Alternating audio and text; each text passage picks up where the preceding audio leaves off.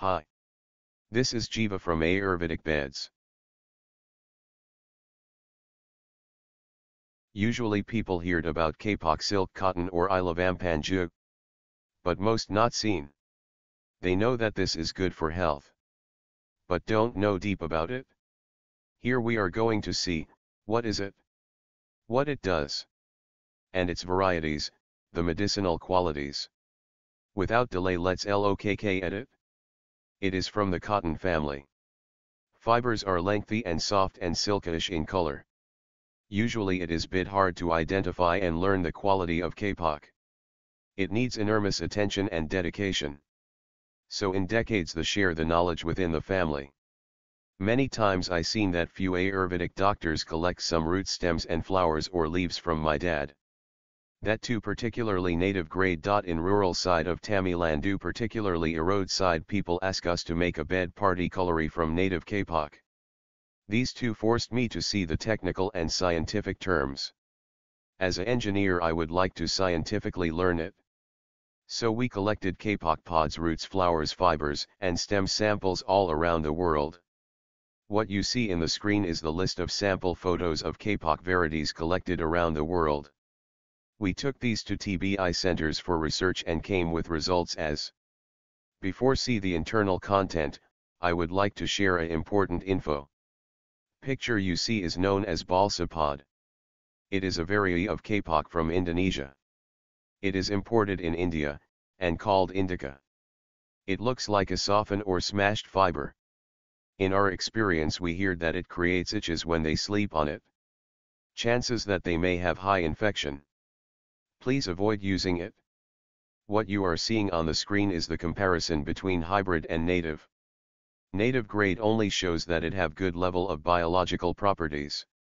In hybrid amount of fiber is high, and the color became white. Nothing else.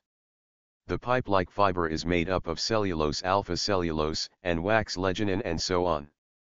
Now you are watching the microscopic image of a single fiber.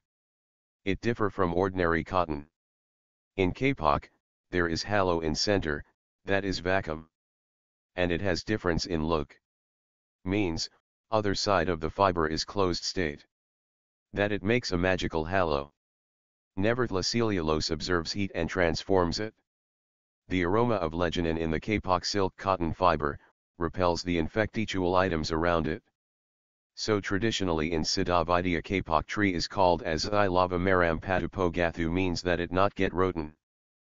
Practically we have seen that other than native trees, hybrid trees get infected. So there is no problem in that, but you lose the money and medicinal qualities of the filling.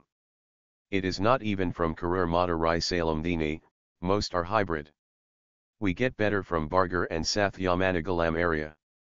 For an example, we dipped native kapok silk cotton in a urine sample. And in no time it killed max max of infectuals. What else you want from it? Usually wax stick each other. But it is different. Waxy in the fiber gives better buoyancy. So it is so soft. Due to its non-stickiness of fiber, there were much space in it. So it is airy and breathable. So you get better airflow around your body when you make bed or mattress out of it. As per medicinal science. It improves immunity. Increases blood circulation. As it have positive frequency, it nullify the negativity around you. Can I tell you a secret? You definitely say oops.